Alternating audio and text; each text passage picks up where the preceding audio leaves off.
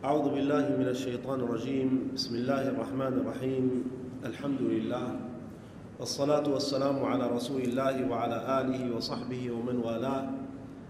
اللهم افتح لنا أبواب رحمتك وانشر علينا أثواب مغفرتك وامن علينا بتأييدك وإعانتك إنك على ما تشاء قدير.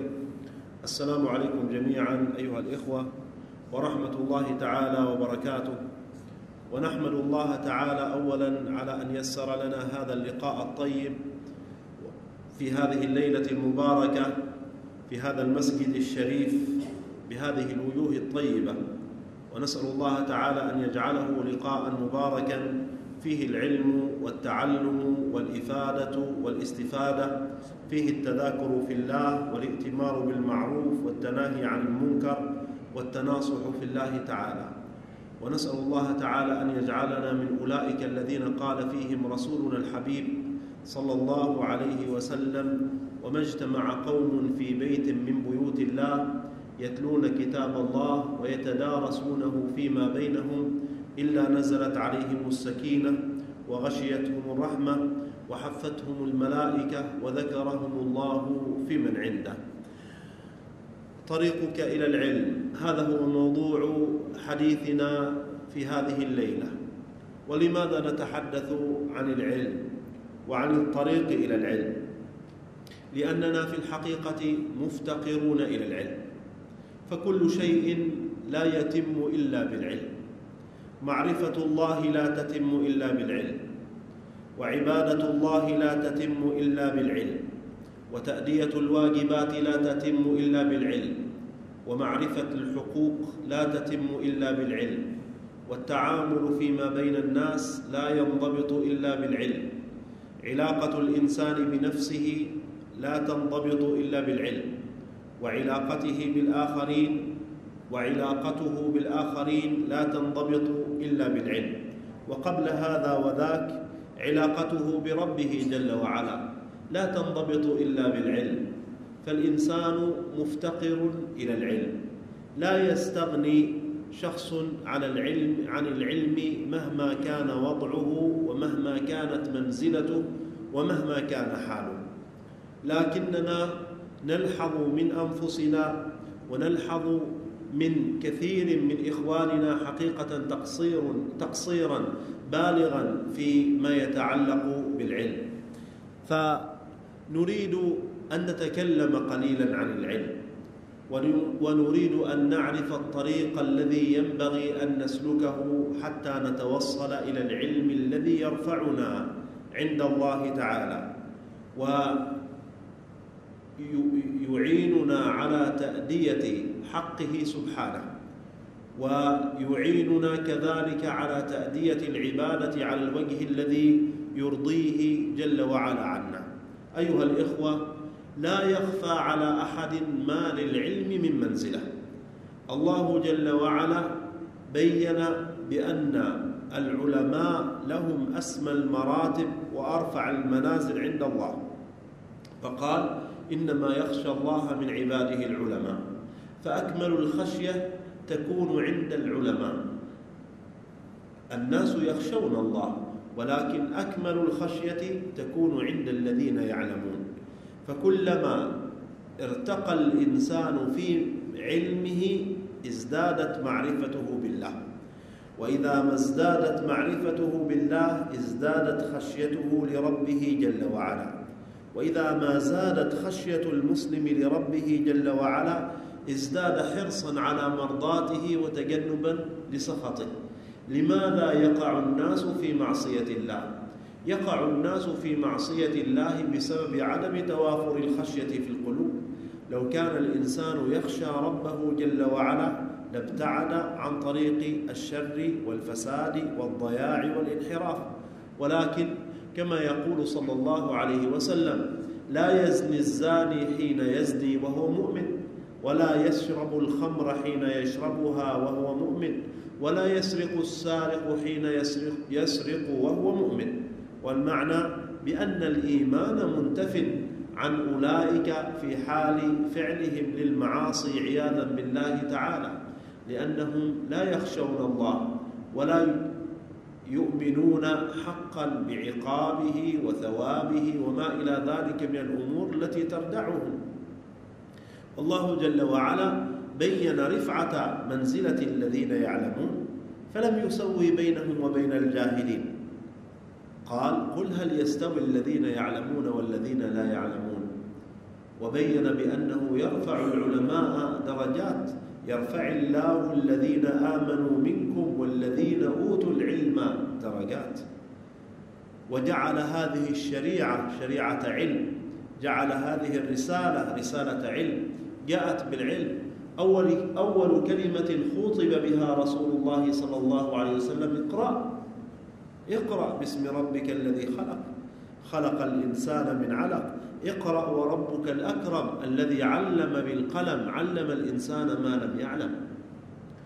والنبي صلى الله عليه وسلم بين مرتبة العلم وأهميته وفضله فأمر الناس بأن يطلبوه مهما عز ومهما بعد ومهما ثقل فقال اطلبوا العلم ولو بالصين. كناية عن عن البعد بعد المسافة والمكان وصعوبة الحال. ولكن يؤمر الإنسان بأن يطلب العلم مهما كانت الظروف والأوضاع. ويبين صلى الله عليه وسلم بأن طلب العلم طريق يوصل إلى الجنة. فقال من سلك طريقا يطلب أو يلتمس فيه علما سهل الله له به طريقا إلى الجنة. وبين عليه أفضل الصلاة والسلام أن الشخص حينما يطلب العلم يكون في منزلة الرضا عند الله جل وعلا. ييسر له سبل الخير ييسر له ملائكته يحفظونه ويسددونه ويعينونه بأمر الله تعالى. حينما يقول وإن الملائكة لتضع أجنحتها لطالب العلم رضا بما يصنع.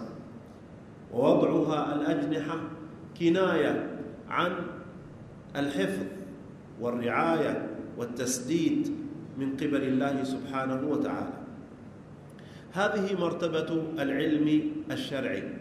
وهذه منزلته في الدين. ولذلك كان لابد أن نتأمل في هذه المعاني العظيمة. تلك الآيات التي تأمرنا بالعلم وتبين منزلة العلماء وتبين منزلة الذين يطلبون العلم. وتلك الأحاديث التي تدعو إلى العلم وتحث على العلم وتبين منزلة طالب العلم ومرتبته ومرتبته وعظيم ما هو فيه من الخير وعظيم ما يجنيه من البركة وعظيم ما يجده من التوفيق. ألا تحرك شيئا في قلوبنا؟ ألا تدعونا إلى أن نتأمل في هذا المعنى العظيم الذي أمرنا الله سبحانه وتعالى به؟ نعم قد يكون الإنسان في كثير من الأحيان متعلقا ببعض المعاني المحسوسة. التي يحس, يحس بها في واقعه ويستشعرها كأشياء مادية. ولكن هذا في حد ذاته خلل. ينبغي أن نسعى لعلاجه.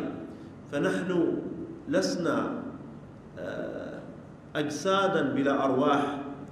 ولسنا في دنيا بلا آخرة. ولسنا كالبهائم تعيش لتأكل وتحيا من غير أن يكون هنالك تعلق بموقف آخر ووقت آخر وتعلق بآخرة فيها ثواب وعقاب فيها محاسبة فيها جزاء فيها فيها آه، أجر فيها مثوبة وفيها عقوبة.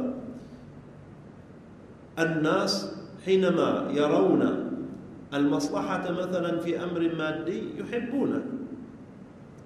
العمل الذي يجتني الإنسان من ورائه مصلحة مادية يلتزم به ويحبه ويسعى إليه.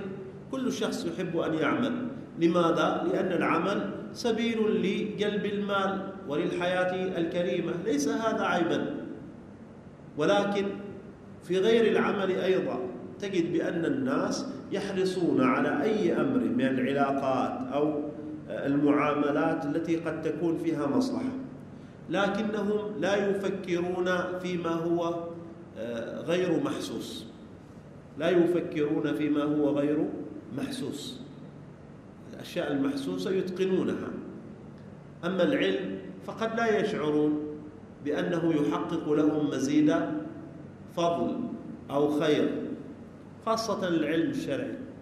ولذلك تجد أن الناس مثلا في هذا الوقت يطلبون الكثير من العلوم. لماذا؟ لأنها تخدمهم في العمل.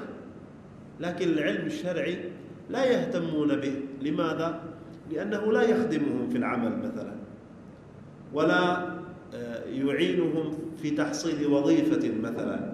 هكذا يظنون. وهذا أمر خاطئ. فعلم الشرع علم يتعلق بأعظم مهمة وأعظم وظيفة في الحياة وهي العبودية لله جل وعلا. أنت أصلا مخلوق في هذه الدنيا لأجل أن تعبد الله.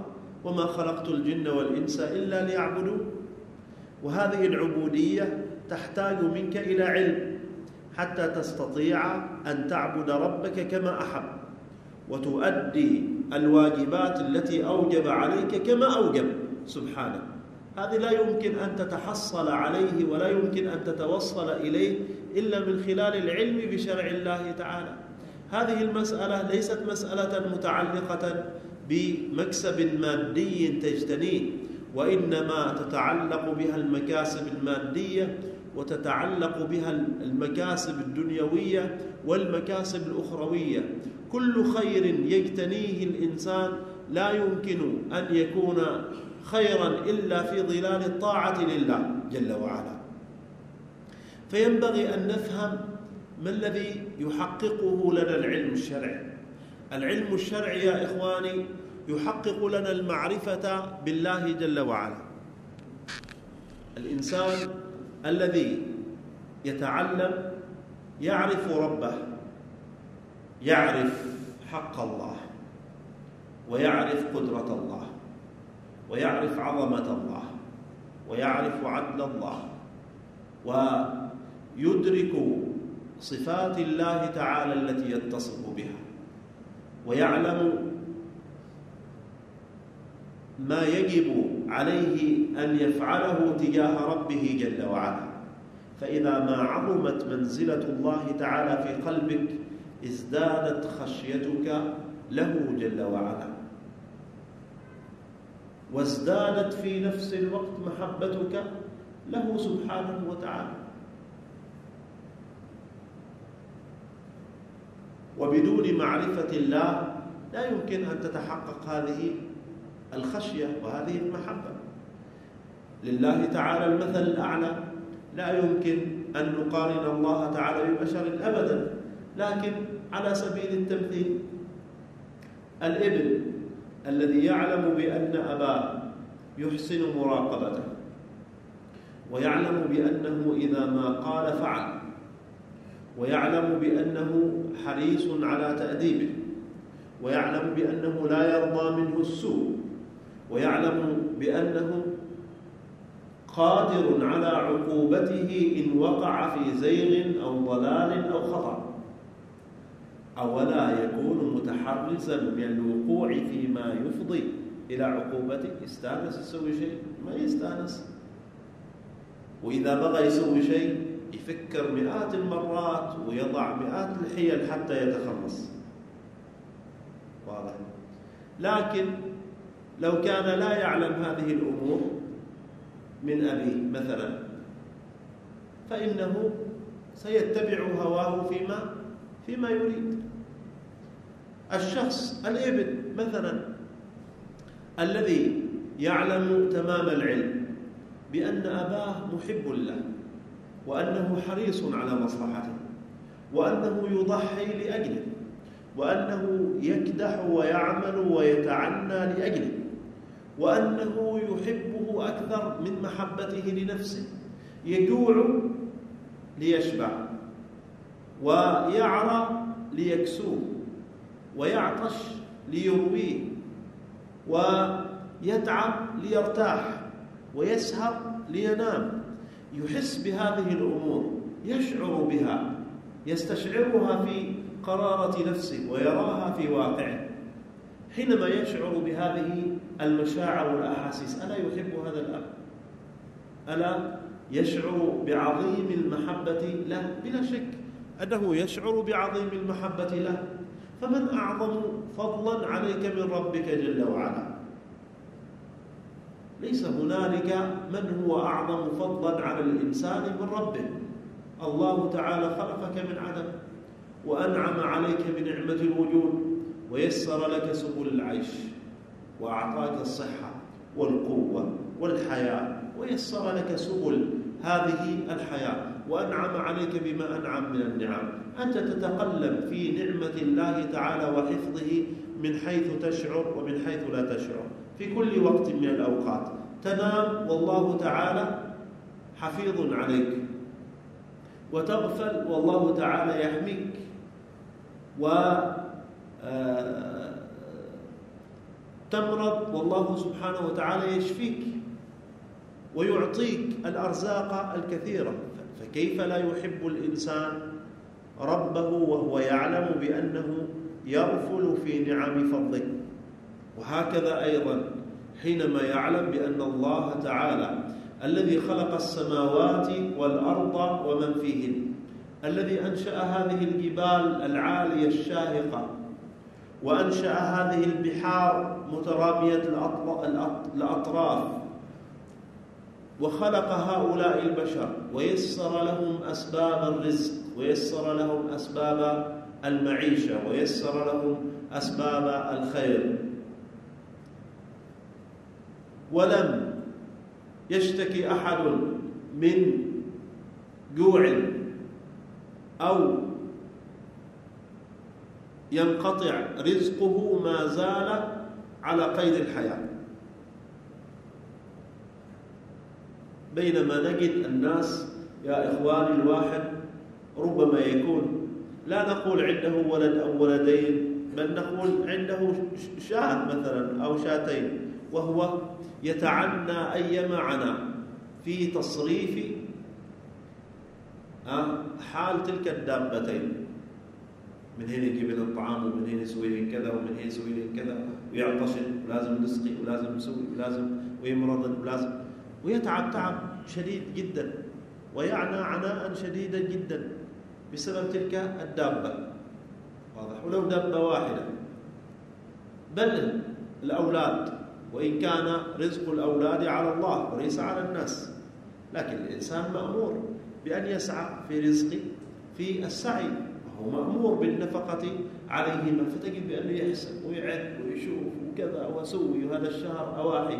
أسوي كذا والشهر القادم لا بعدني أختصر شوية من هنا عشان أوفي هالشيء الفلاني. والشهر القادم في مدارس وبعدين عندنا عيد وبعدين أشياء وحسابات طويلة عريضة جدا. يعني يقوم بها الإنسان لأجل رعاية طفل أو أو طفلين.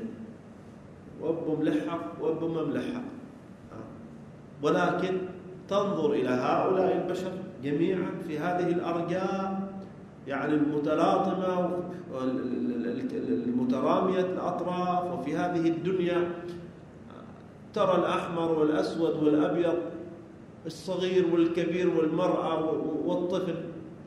العربي والأعجمي كلهم رزقهم على الله جل وعلا.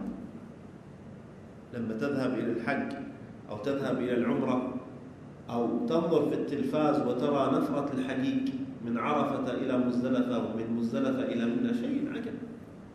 شوف تلك الجموع الكبيرة التي تسير كل واحد منهم. الله سبحانه وتعالى يسر رزقه وعمله وأمور حياته وصرف أحواله من غير ما يحتاج إلى أحد. هذا في البشر فبل بغير البشر. كم من الدواب والكائنات والمخلوقات التي نراها والتي لا نراها التي نشعر بها ونعرفها والتي لا نعرفها. الله تعالى يسير أرزاقها وما من دابة في الأرض إلا على الله رزقها. ويعلم مستقرها ومستودعها. يذكر أحد العلماء يقول كانت تأتيه قطة على عشائه وغدائه فيعطيها يلقي لها شيئا من آه، فتات الأكل الذي كان يأكل منه. وفي فترة من الفترات رأى منها زيادة إلحاح. يعني تأتيه وتطلب ويعطيها ثم تأتي مرة ثانية وتطلب ويعطيها ثم تأتي مرة ثانية وتطلب ويعطيها.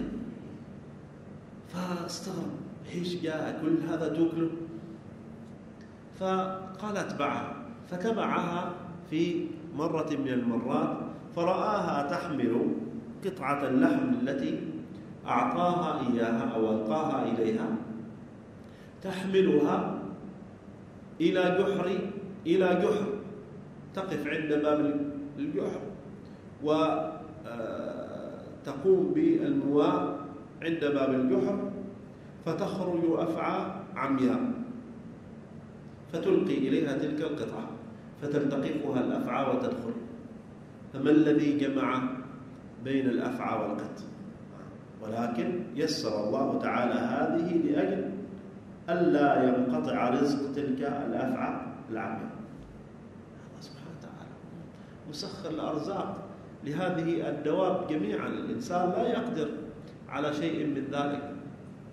يروى في بعض الكتب يقال بأن سليمان عليه السلام في مرة طلب ربه طلبا. قال له يا رب أريد أن أشكر نعمتك. سليمان الله سبحانه وتعالى أعطاه ملكا لا ينبغي لأحد بعده. أعطاه كل شيء. الجن يعملون بين يديه. والإنس يعملون بين يديه.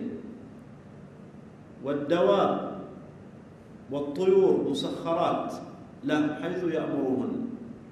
والريح مسخرة له تحمله وما أراد إلى حيث أراد. ملك عظيم جدا.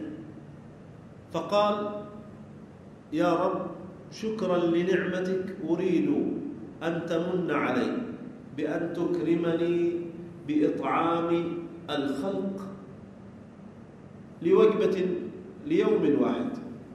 قال له يا سليمان إنك لا تستطيع ولا لوجبة واحدة.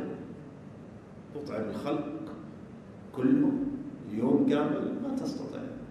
حتى لوجبة ما ليوم. قال يا رب أريد أن أشكر نعمتك وفضلك الذي مكنتني منه فتمن علي بأن تكرمني شكرا لنعمتك أن أطعم الخلق ولو لوجبة واحدة. قال له ففعل ما شئت. فأمر سليمان الجن والإنس والطير كل حد يسوق من جانب. وبسطت الموائد في فضاء عظيم. فيها كل ما استطاع أن يجمعه حتى تهيأ الأمر وظن بأن الأمر قد اكتمل. فقال يا رب قد اكتمل الأمر. فأرسل الله سبحانه وتعالى حوتا من البحر فالتهم كل ما أعده سليمان ثم شكا إلى ربه الجوع. التهم كل ما أعده سليمان أعده للخلق جميعا. ثم شكا إلى ربه أنه جائع ما شبع؟ قل يا رب ما شبعت. وهذا يدلك على عظيم ما يخفى على الناس. متى يعرف الإنسان هذه الحقائق؟ لما يتعلم. تدرك قدرة الله تعالى لما تتعلم. تعرف بأن الرب القدير الذي يسر كل هذه الأمور وهو على كل شيء قدير لا يعجزه شيء في الأرض ولا في السماء. لا تستعظم قوتك عندئذ ولا تظن بأنك معجز ولا تظن بأن الفضل لك في شيء بل الفضل لله والمنة لله جل وعلا في كل أمر. هذا يوصلك إليه العلم. العلم يوصل إلى معرفة الله. والعلم يوكلنا من تأدية العبادة كما أحب الله. أنت لا تستطيع أن تصلي كما أمرك الله إلا حينما تتعلم كيف تصلي. ما الركوع والسجود تراها الصلاة؟ وإنما لها أركان ولها شروط ولها سنن تأدية كما أمرنا رسول الله صلى الله عليه وسلم. ولا تستطيع أن تصوم الصيام الشرعي إلا بالعلم. ولا تستطيع أن تحك الحق الشرعي إلا بالعلم. ولا تستطيع أن تزكي الزكاة الشرعية إلا من خلال العلم بشرع الله. إذا العبادات كلها ما تستطيع تأديتها إلا حينما تتعلم العلم الشرعي.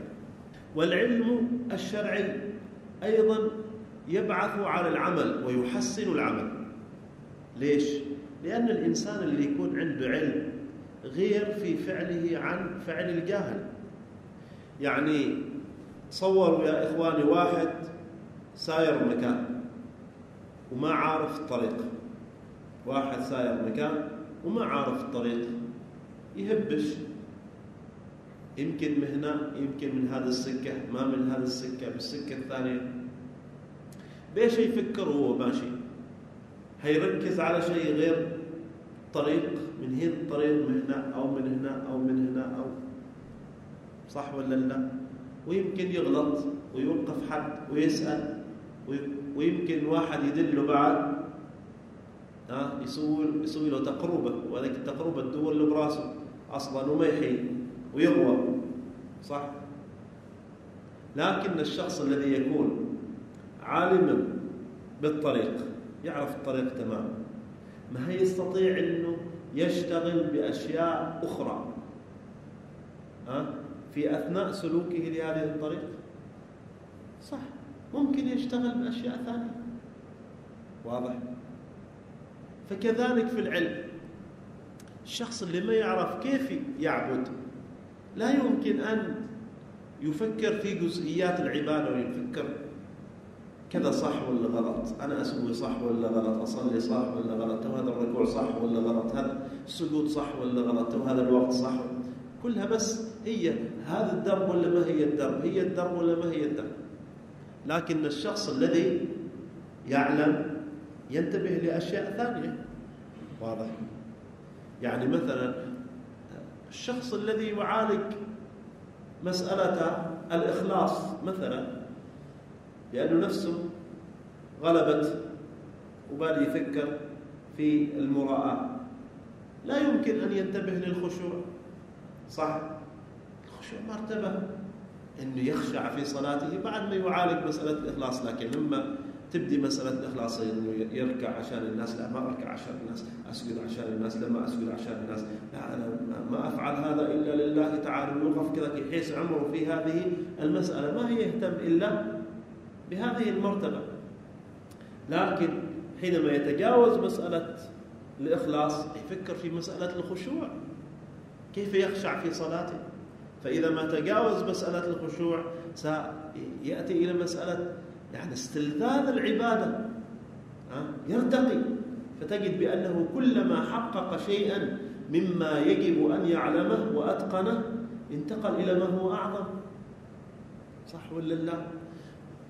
لذلك كان يروى عن سيدنا الفاروق رضوان الله تعالى عليه أنه بعد صلاة من الصلوات كان يقول لقد جهزت الجيش الذي سيخرج في الغزو في صلاتي.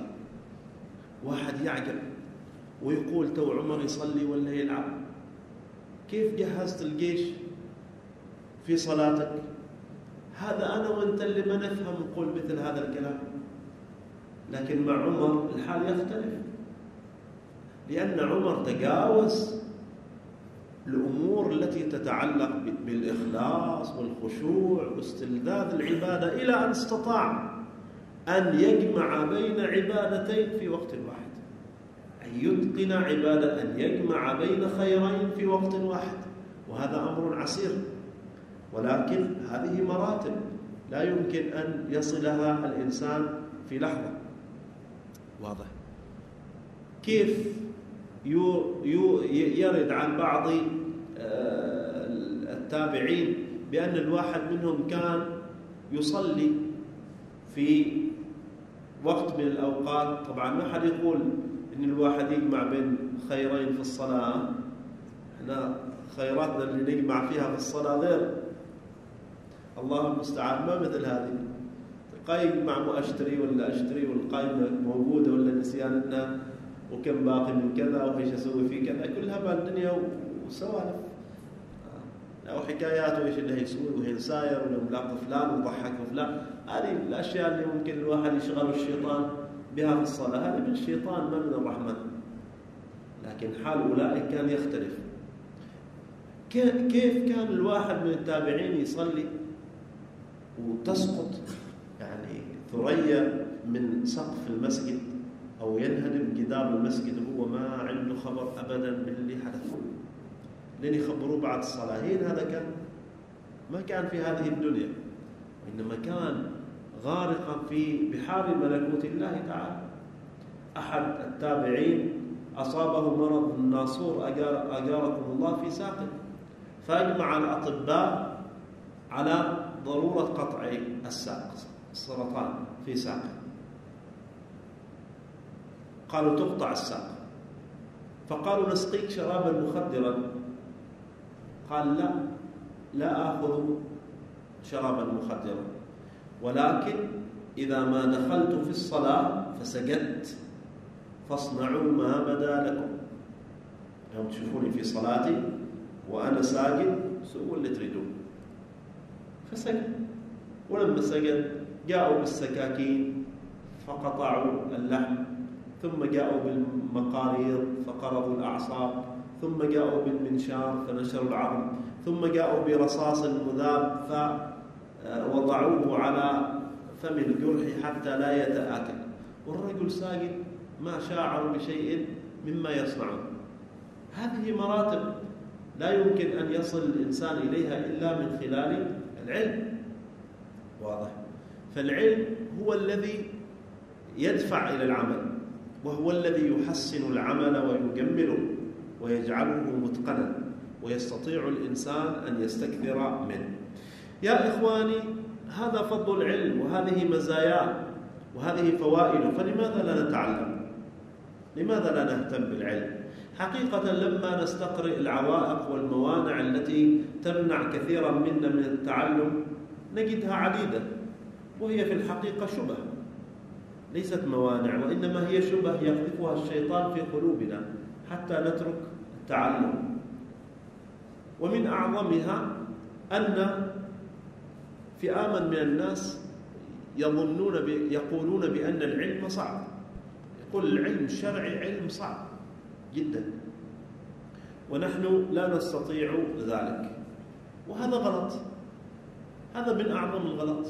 العلم الشرعي أسهل من علوم أخرى يشتغل الناس بها. لعدة أسباب. أولا أن العلم الشرعي علم قائم على التعبد.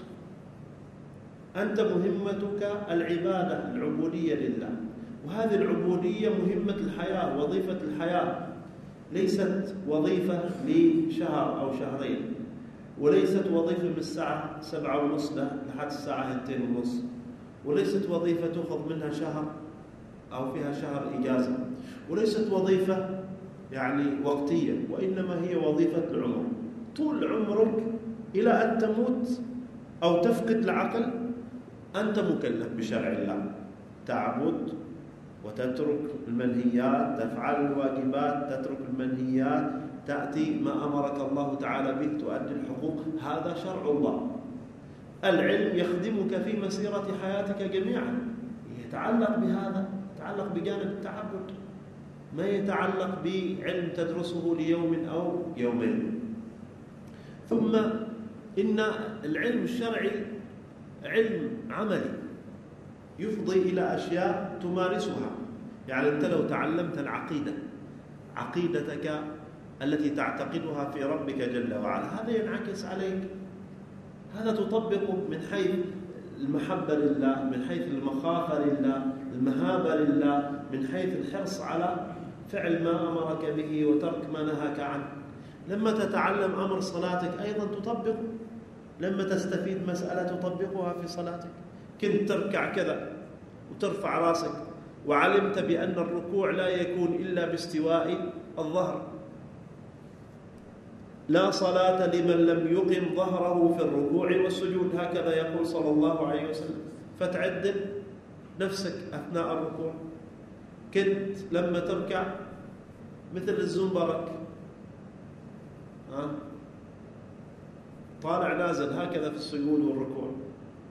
وعلمت بعد ذلك بأن هذا أمر مخالف للشرع لأن النبي صلى الله عليه وسلم أمر بأن يخشع الإنسان في صلاته وكان فعله على غير هذا الفعل. كان يركع يأمر الراكع أن يركع حتى يستقر راكعا ويرجع كل مفصل إلى موضعه. ثم يقوم حتى يستقر واقفا ويتساكن جسمه ثم يسجد حتى يستقر ساجدا ويتساكن جسمه ثم يجلس حتى يستقر جالسا ويتساكن جسمه ثم يسجد. ما هكذا ينقر كما ينقر في الحق؟ كنت سوى كذا قبل. لكن تعلمت بأن هذا غلط. تركته. يعني طبقت. واضح. كان لما تصلي أول يمين ويسار ما حد يستانس يخرج من المسجد غير أنت. مكتشف إنه ولا حد يستانس يقح غير أنت. عارف من هين ومن هو أبو فلان أبو قح ومن فلان اللي سعد ها؟ واحد من هنا ضحك من هذا اللي ضحك وأنت في الصلاة كل هذا الشغلة تسواها. مراقبة عامة لكل من في المسجد. هكذا كنت تصلي ثم علمت بأن هذه من ضحك الشيطان عليك. لأن النبي صلى الله عليه وسلم يقول أن النظرة الالتفات التي يلتفتها الإنسان في الصلاة اختلاس اختلاسة يختلسها الشيطان من صلاته. يعني سرقة. يسرقها الشيطان من صلاتك. يقص عليك ويضحك عليك. وأن المطلوب أن تنظر إلى موضع سجودك. فتعدل. إذا أشياء أنت كنت ما تسواها ما تلتزم بها لكن لما تعلمت العلم طبقتها عمليا. هذا فائدة العلم الشرعي. العلم الشرعي إذا يرتبط بالعمل ودائما العلم حينما يرتبط بالعمل يكون سهلا. العلم حينما يرتبط بالعمل يكون سهلا. إذا مسألة صعوبة العلم في ماذا تكمن؟ هل في أنه يحتاج إلى حفظ مثلا ويحتاج إلى فهم؟ فكل العلوم تحتاج إلى حفظ وإلى فهم. حتى قواعد الرياضيات تحتاج إلى حفظ وفهم.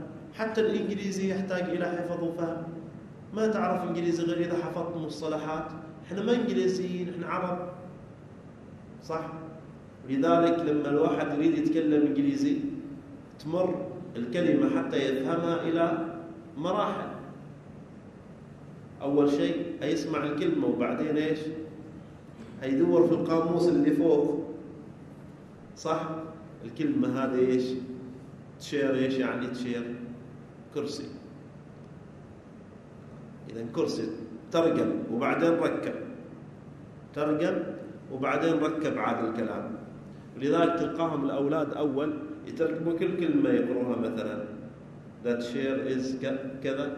ويترجم that إيش يعني و chair إيش يعني كذا ويركب الكلام اللي يفهمه. هذه عمليات تمر بها أي عقل إنسان غير إنجليزي غير إنجليزي. لكن العربي ما يحتاج كذا حتى أصغر ولد. صح ولا لا؟ لو مسكنا أصغر ولد وقلنا له يا ولد لما تصلي ما تلعب في الصلاة. ما يحتاج هذه الترجمة معه لما تصلي ما تلعب في الصلاة أنت تتكلم هو إيش؟ مرة فاهم معك مواصل ليش؟ لأنه سريقته هكذا. إذا حتى الإنجليزي يحتاج له إلى فهم وحفظ والكيمياء تحتاج إلى فهم وحفظ والهندسة تحتاج إلى فهم وحفظ. واضح؟ هذا العلوم الطبيعية كلها تحتاج إلى فهم والعلوم الإنسانية كلها تحتاج إلى فهم وحفظ. فأي علم يحتاج إلى فهم وحفظ. لكن الفرق أنك أن حفظك لجزئيات العلم الشرعي تعبد. تكتسب به أجرا. أنت لما تحفظ آية من كتاب الله تعبد الله تعالى بحفظها وتكتسب أجرا بذلك الحفظ. تعبد الله تعالى بتلاوتها وقراءتها وتكتسب أجرا بتلك التلاوة. ولما تحفظ حديثا من أحاديث رسول الله تكتسب أجرا بحفظه. فأدلة العلوم الشرعية أدلة فيها أجر. مسألة الصعوبة مسألة هذه شماعة نعلق عليها تقصيرنا الله تعالى يقول في القرآن ولقد يسرنا القرآن للذكر فهل من مدكر؟ وليس هنالك عسير على من سهل الله تعالى عليه الأمر. فليست المسألة حقيقة متعلقة بصعوبة العلم. كم من شخص كان من أجهل الجاهلين فتعلم واستطاع أن يتعلم. الإنسان العلم الشرعي ليس أصعب من العلوم الحياتية بل هو أسهل منها لأن الإنسان يشعر بأنه يتقرب إلى الله تعالى حينما يتعلم شيئا منه ولأنه يطبقه وليست أمور جامدة هكذا لا يستفيد منها. بعض الناس أيضا ربما آه، يقولون بأننا قد فاتنا قطار العلم يقول إحنا ما تعلمنا يوم كنا صار والآن عاد نتعلم ما نستطيع. آباءنا وأجدادنا ما علمونا لما كنا صغارا. والآن أصبحت عقولنا خاوية. واجد من الناس يقولوا كذا شيء. عقل متشتت في أكثر من 360 شغل. من هنا أواهي يتعلم وهذا في الحقيقة أنه غلط أيضا. هذا ليس مانعا. صحيح أن فترة الصغر فترة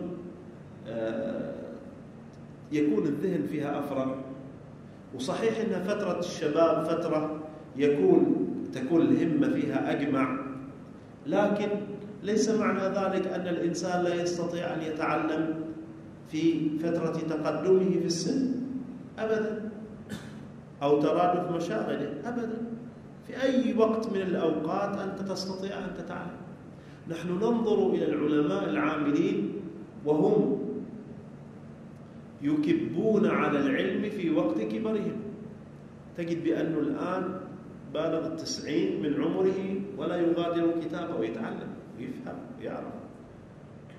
أو بالغ الثمانين أو أكثر من ذلك وكتبه بجانبه يقرأ ويتعلم ومستمر في ذلك لأن العلم ليس له وقت ليس له حد. واضح؟ العلم ليس له حد. ما دمت حيا فأنت تستطيع أن تتعلم. لأن الله تعالى هيأ لك سبل ذلك. أبدا. لا يمكن الإنسان أن يحيا بدون أن يتعلم. الحياة هكذا كلها. عم حالك يعني الآن مثل حالك قبل عشر سنين؟ ما شقدت عليك في هذه الحياة؟ كنت عليك في هذه الحياة أشياء؟ ومشيت معها وتعلمتها صح ولا لا؟ يعني لو ما كنا نعرف نقود سيارات تو ستوي إنهم الناس ركبوا حمير مثلا أو بوش ولا يمكن تلقاه ولا واحد يمكن إلا كان واحد أو اثنين أو يستخدم ما للسيرة وما إلى ذلك وإنما لاعمال مثلا زراعية أو ما إلى ذلك فقط. كانوا الناس قبل يقودوا سيارات؟ لا. ما كان الناس قبل يقودوا سيارات؟ ولا يعرفوا كيف يقودوها ولا يعرفونها شكلها؟ ولا يعرفوا كيف تمشي؟ حياتهم كانت كذا. من النكات المنتشرة أنه واحد من شيوخ الداخلية كان أول من أدخل سيارة إلى الداخلية ونزل على جماعته في بلدة من بلدان الداخلية فهرع الناس بالأطعمة لسيارته. جايبين طعام؟ همطية الشيخ. يفكروها تركب طعام. ما يفكروها تستخدم بنزين بترول. الناس ما كانوا يفهموا كذا واضح. لكن تغيرت الحياة أو ما تغيرت؟ تغيرت. الناس عرفوا السيارات واستخدموها ومشوا فيها. زين أول يمكن قبل عشر أو تقول يعني مال يمكن قول 13 سنة 15 سنة أول مثلا. كانت هذه الهواتف نادرة. هذه الهواتف النقالة كان الهاتف النقال أول كبر هذا نكلينكس مثل الكربة يحوم وعاد اللي عنده هاتف تلقاه 24 ساعة والأري الأكبر منه. وعقبة. إنه واحد عنده هاتف ذاك الوقت. كان الناس يستخدموا هواتف البيوت وكيف يطبع عليه وكيف يسوي وكيف يرسل رسالة ولا إيش؟ ولعل منكم من أدرك ذلك. وتغير الحال. وأصبح الناس يعرفون استخدام الهواتف. وأصبح ربما البيت فيه أكثر من هاتف. غيرت. والإنترنت كان حد يعرف الإنترنت في هذه البلد؟ ما حد يعرف الإنترنت. وربما في غيرها من البلاد أيضا. لكن الآن آه، الطفل يعرف كيف يدخل على الانترنت ويستخدم ويفتح المواقع وينشئ المواقع. اذا الإنسان في حياته دائما عنده قابلية للتعلم وتطوير الذات. ما دام عندك هذه القابلية إذا كيف تقول فاتني القطار ترى كلنا إحنا بشبابنا وشيابنا الكل يعيش الحياة ويتعامل معها صح ولا لا؟ شيء شياب الآن عندهم هواتف. ويتابعون آه، النت ويعني يتابعون أخبار العالم ويعرفون الأوضاع ويحللون بأنفسهم الأشياء. كل الناس تجد بأنهم كبارا وصغارا عندهم قدرة على التعلم. إذا فلماذا لما نأتي إلى العلم الشرعي نقول لا إحنا فاتنا القطار ليش فاتنا القطار ما فاتنا القطار في الحقيقة.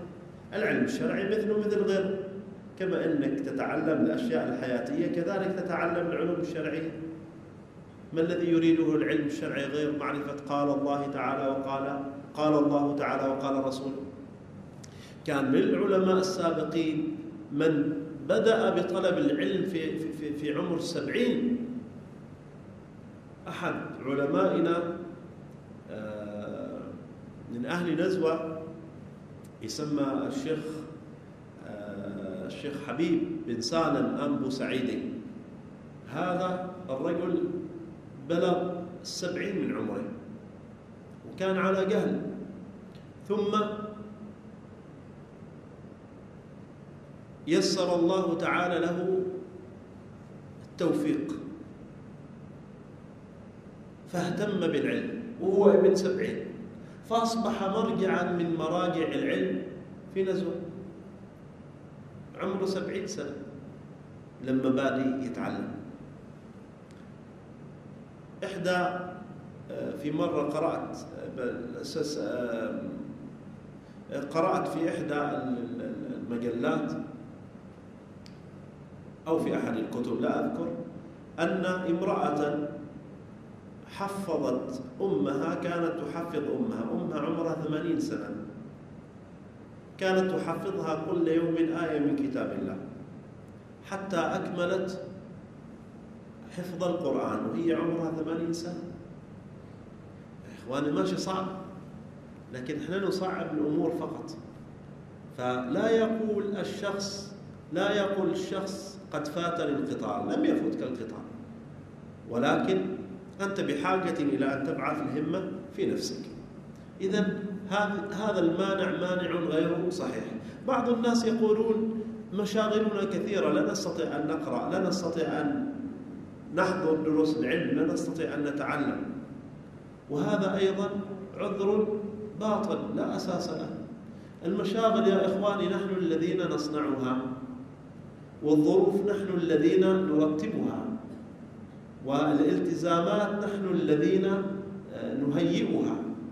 إنسان بنفسه يرتب أوضاعه يقول هذا الأسبوع أسوي كذا وأسوي كذا وأعمل كذا صح ولا لا؟ واحد يرتب. وفي خلال ترتيب هذا ما تلقى واحد ما عنده وقت فراغ صح ولا لا؟ وقت فراغ كثير. فيفنيه فيما لا فائدة منه. أما أنه يفنيه في النوم من الصبح لين الظهر ويروح عليه يعني أكثر من من الآن الفجر في الساعة الرابعة مثلا والنصف وينام للساعة العشر كم ساعة يروحون عليه؟ قرب سبع ساعات. أو كم؟ من الساعة أربعة إلى الساعة 11 راحت سبع ساعات مع إنه كان يمكن أو ست ساعات. كان ممكن إنه يستغلها في أمر نافع. في الليل كم من الساعات التي يقضيها الإنسان جالس؟ حتى مرات ما يشغل نفسه بشيء. ابدا فارغ الذهن ما عنده شيء. كم من الأوقات التي يقضيها في جلسة مع أقرانه وأصحابه؟ لا ليست في خير بل ربما في سوء في شر. ولا تخلو من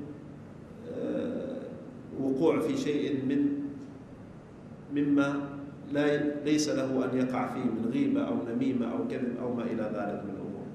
كم كثير. إذا الوقت موجود. وإن كانت المشاغل موجودة لكن الإنسان يستطيع أن يرتب وقته. واضح. فالمشاغل الاشتغالات ليست في الحقيقة عذر. أنت حينما تريد أن تصنع شيئا ستصنعه وحينما تريد أن ترتب وقتا لنفسك سترتب وقتا لنفسك. بعض الناس يقولون آه، العلماء موجودون وأهل الفتية موجودين فلماذا نتعب أنفسنا بطلب العلم؟ وهذا أمر خطأ وعذر فاسد. أنت متعبد بطلب العلم. أنت بنفسك متعبد بأن تطلب العلم. الإنسان لا يعذر من تعلم العلم الذي يستطيع به تأدية الواجب على بصيرة. هذا يسمى العلم الواجب علم الفرض. العلم الذي تستطيع به أن تصلي كما أراد الله وتزكي كما أراد الله وتحج كما أراد الله وتؤدي العبادات كما أراد الله هذا علم يجب على الكل. صغير يجب على المتعلم وغير المتعلم. على المرأة وعلى الرجل. على الكل. لا يعذر منه أحد. تفاصيل العلوم نعم تترك للعلماء. لكن عموميات العلم التي تستطيع بها تأدية الواجبات كما أوجب الله تعالى عليه هذا أمر لا يعذر منه أحد. ثم العلماء إنما وجدوا ليخدموك فيما لا تعلم. وليس بالضرورة أن تجد دائما العالم الذي يستطيع أن يفتيك. وليس بالضرورة أن تجد العالم الذي يمكن أن تتعلم منه. فشوف كم يحصل من التعطل للإنسان في فعل الخير كم من الوقت. مع أنه لو كان يعلم لعمل ذلك الخير وأضعافا كثيرة غيره. يسأل عن مسألة. زينة أو ما زينة يجوز له أو ما يجوز له. عمل مثلا يريد أن يعمله يريد أن يعرف الحكم الشرعي فيه يسأل. ما يعرف؟ يسأل. ويسأل. ويسأل لما يأتي الجواب بعد يوم أو يومين مثلا لأنه لم يجد أحدا. يخبر واحد من أصحابه عشان يسأل حد وهذاك يسأل حد ثاني مثلا. فهذا اليومين هو كم؟ كان يمكن أن يكتسب من الأجر وكم يعمل من الأعمال الصالحة الكثيرة لو كان يعلم بنفسه. واضح. فضلا عن هذا وذاك الإنسان يا إخواني يعني حينما يعمل حينما يعلم آه، كما قلت سابقا في أثناء عمله تنفتح أمامه آفاق أوسع. يعني لا يفكر في المسألة الدونية وإنما يفكر فيما هو أعلى منها. أنت لما تعتمر العمرة وتبدأ فيها تبدي وانت متشكك أنا هين آه، أقطع التلبية أنا آه، إيش أسوي لما أدخل المسجد؟ أصلي ركعتين ولا أبدي أطوف؟ وكيف أسوي لما أبدي أطوف؟ وأسأل هذا وأسأل هذا وأسأل هذا. وبعضها أسويه وأقول يلا يمكن صح ويمكن غلط؟ حالك هنا غير عن حالك لما تكون أنت تعمل الشيء وأنت تعلم تمام العلم. لأنك ستنطلق إلى أشياء أخرى من التأمل في عظمة الله سبحانه وتعالى في فضل هذا البيت العظيم في استشعار لذة العبادة. هذه ربما لا يحصلها الإنسان إلا وهو فارغ الذهن من مسألة السؤال عن جزئيات هذه العبادة لأنه يعلمها. هذه يحققها الإنسان حينما يعلم. إذا أنت لما تعمل لما تعلم هذا العلم ينفعك بأن يطلق أمامك الطريق أو يفتح أمامك الطريق لآفاق واسعة جدا من معرفة الله تعالى واستلذاذ عبادته. بعض الناس يقولون لا نجد المعلم الذي يعلمنا. إحنا باغيين نتعلم لكن ما عندنا حد يعلمنا. وهذا في الحقيقة أنه ليس بعذر وليس بمانع. فالله سبحانه وتعالى في هذا الزمن فتح للناس آفاق كثيرة من من آفاق التعلم. المسألة ليست متعلقة بمعلم. أنت تستطيع أن تتعلم الآن عن طريق الكتب وتستطيع أن تتعلم عن طريق دروس العلم وتستطيع أن تستمع إلى دروس العلم عن طريق المذياع وعن طريق الإذاعات وعن طريق التلفاز وعن طريق الفضائيات وتستطيع أن تتعلم عن طريق آه، شبكات المعلومات تنزل ما شئت وتقرأ ما شئت من الكتب وتعرف ما شئت من العلوم إحنا الآن سبل التعلم أصبحت عظيمة مفتوحة أمام الإنسان. ويمكن أن يسترشد بآراء أهل العلم فيما يناسبه وما يقرأه وما لا يقرأه. ما يناسب وضعه وحاله. لكن هو بنفسه يستطيع أن يتعلم. لكن يا إخواني نحن عندنا تقصير في هذا الجانب. الآن لو الواحد منا سأل نفسه مثلا كم درس علم عندك في السيارة؟ ممكن تشغله وأنت وساير إلى عملك مثلا. كم محاضرة عندك؟ إيش معك؟ ربما تجد بأن سيارة الواحد ليس فيها حتى محاضرة واحدة من دروس العلم. بل إذا سمع سمع نشيد. ولا شغل الإذاعة. ومشى بما فيها اللي تجيبه أهل أهلا وسهلا بس. أو سكر كل شيء وجلس ويسوق وذهنه يحسب في مئة شغلة لين يوصل مسقط. كل يوم كل وقت يفتتح له باب من الأبواب. ماشي. مع أنه وقت يمكن ساعة يمكن أن يستمع فيها درسا كاملا من دروس العلم. إذا أو يستمع إلى إذاعة مناسبة يستفيد منها. لو فتح الإنسان إذاعة القرآن الكريم مثلا كم يستطيع أن يستفيد؟ من دروس العلم ومن آه، مسائل العلم شيء كثير الآن عبر جهاز صغير كذا يمكن الإنسان أن يشحن فيه مئات دروس العلم. ويشغله عن طريق ال FM الموجود في السيارة ويستمع ما شاء من الدروس. ممكن ممكن. يجيب فلاش ويركبه فيه. إذا سبل التعلم كثيرة. باتصال يمكن أن يتصل بأهل العلم ويسأل. يزوره. السبل الآن أصبحت كثيرة. أول يعني كيف كان الناس يعيشون في السابق يا إخوان؟ كان الناس يعيشون في السابق عيشة عيشة فيها صعوبة. وشدة وضعف حال. الكتاب ربما ما كانوا يستطيعون شراء الكتاب. وإذا وجدوه لا يستطيعون استنساخه. وربما يكون الكتاب عزيزا أيسر الكتب يكون عزيزا. والطباعة غير موجودة في البلد. فكان الناس يتعبون. وكان أهل العلم أيضا يتعبون. وطلبة العلم يتعبون. لكنهم كانوا يحبون العلم. لذلك بارك الله تعالى لهم فيه. كانوا يضحون. ويبذلون الكثير. الأمور ما كانت متيسرة. ولكن مع ذلك لأنهم يحبون العلم كانوا يكبون عليه. يعني تعرفون يا إخواني بأن الشيخ جميل آه، ابن خميس السعدي. الشيخ جميل ابن خميس السعدي. صاحب كتاب قاموس الشريعة. كثير من الناس يسموها مدرسة جميل بن خميس السعدي.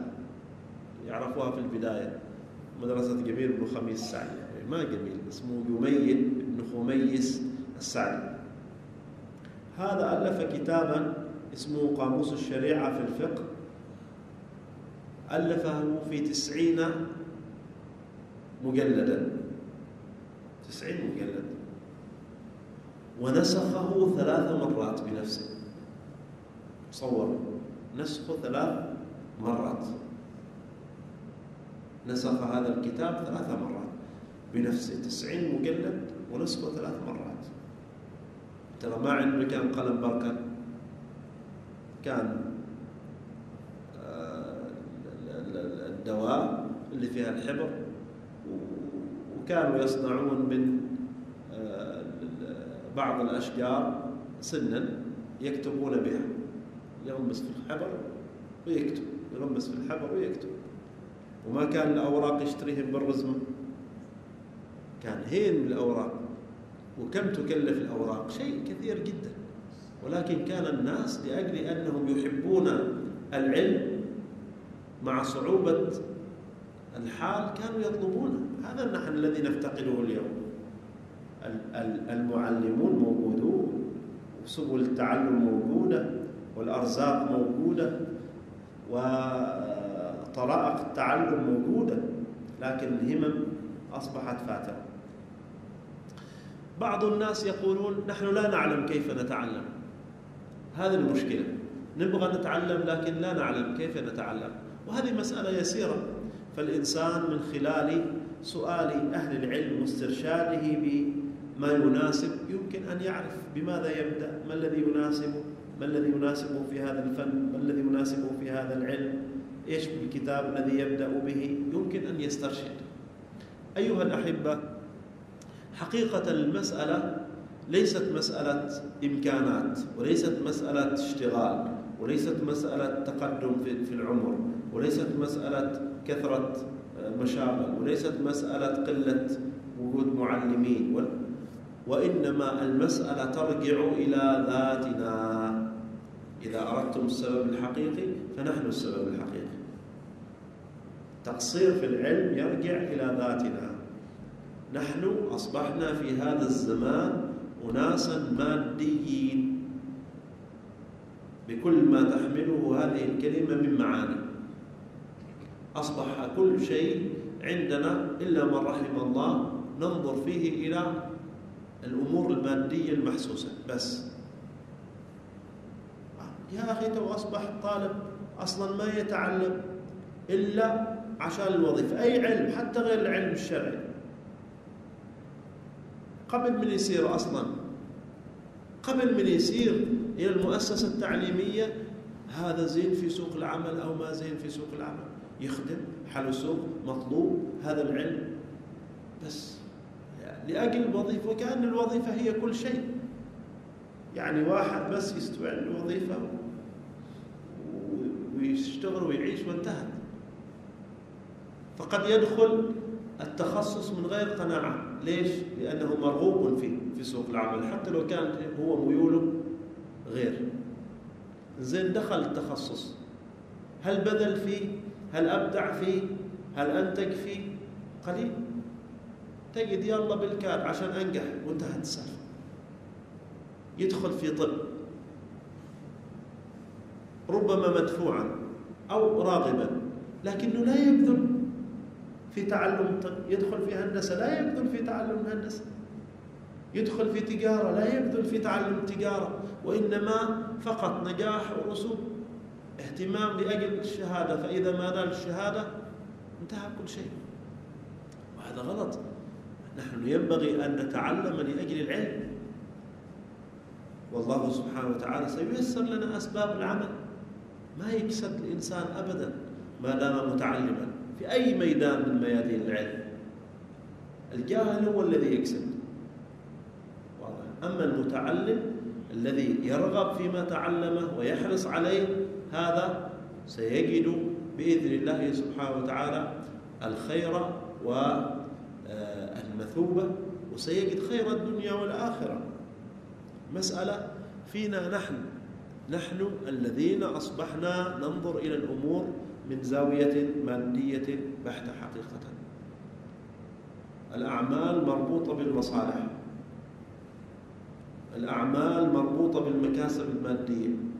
شيء في مصلحة مادية فعلناه. إذا لم يكن في مصلحة مادية تركناه. إلا من رحم الله لا نعمم حتى لا نظلم. لكن نقول هذه الأشياء موجودة في واقعنا وينبغي أن أن نعالجها في أنفسنا حقيقة. أين طلب الديانة؟ أين طلب العلم؟ أين الحرص على مصلحة الناس؟ أين التعاون في أمور الخير؟ أين البذل لله سبحانه وتعالى في أي ميدان من ميادين البر التي تنفع الناس؟ هذه جوانب عندنا فيها تقصير. ولو كان الناس يهتمون بأصل الأمر الذي خلقوا لأجله وهو العبودية لله لاهتموا بهذه الأمور جميعا. يهتم بالدنيا ويهتم بالآخرة ما يهتم بالدنيا بس. يهتم بالدين ويهتم بالدنيا. لأنك حياتك كذا.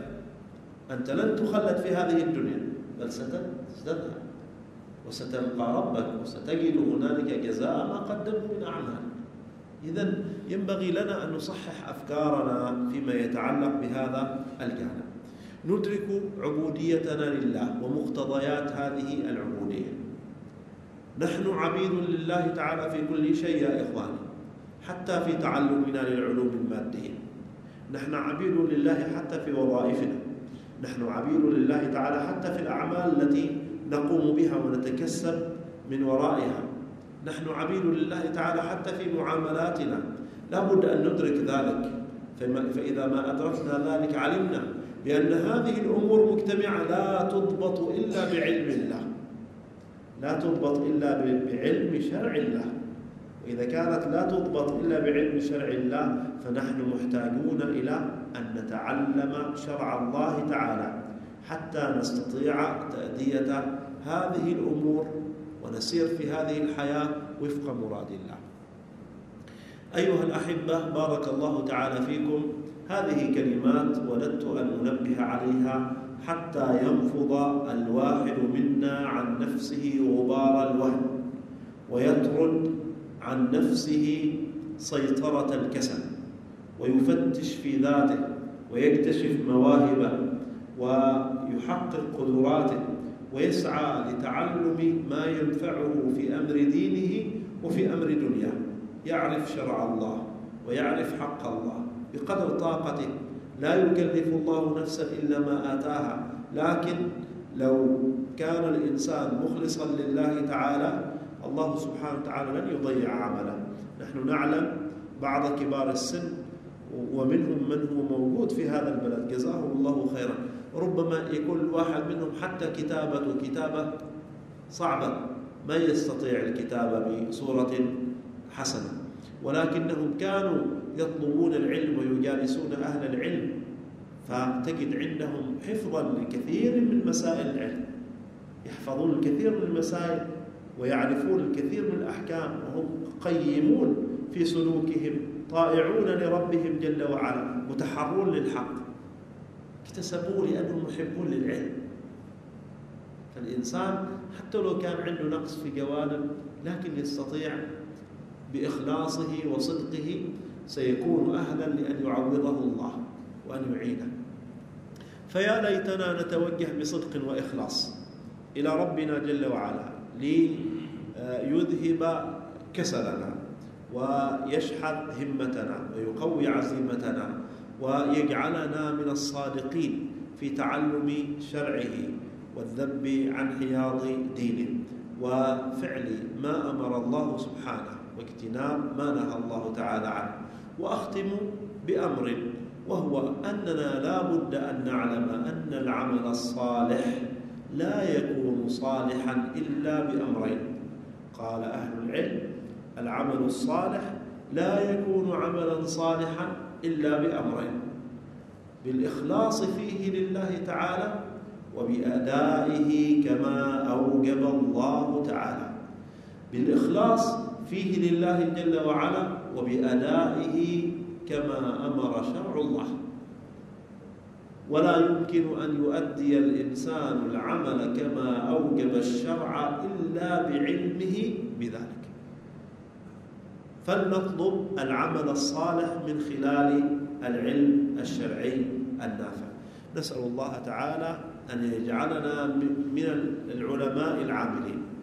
وأن يجعلنا من طلبة العلم المخلصين وأن يطهر قلوبنا من الأدران وأن يشحذ همتنا ويقوي عزيمتنا لطلب مرضاته في كل وقت وحين وأن يذهب عنا العجز والكسل وأن يعيننا على استباق طرق الخير وأن ييسر لنا سبلها. إنه سبحانه على ذلك قدير. وهو بالإجابة جدير. نعم المولى ونعم النصير. سبحانك اللهم وبحمدك نشهد أن لا إله إلا أنت نستغفرك ونتوب إليك. وصلى الله على سيدنا محمد وعلى آله وصحبه أجمعين. وجزاكم الله تعالى خيرا. وسامحوني على الإطالة. والسلام عليكم ورحمة الله وبركاته.